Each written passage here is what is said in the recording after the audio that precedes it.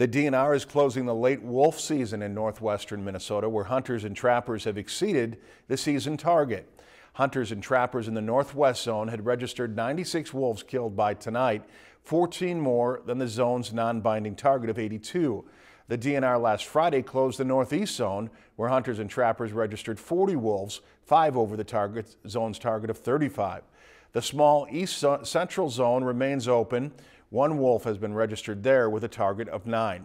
Now, late season hunters and trappers have now registered 137 wolves statewide. Hunters killed 124 in Minnesota's early hunting only season. Together, 261 wolves have been killed. The combined statewide harvest target was 250. If you've enjoyed this segment of Lakeland News, please consider making a tax-deductible contribution to Lakeland Public Television.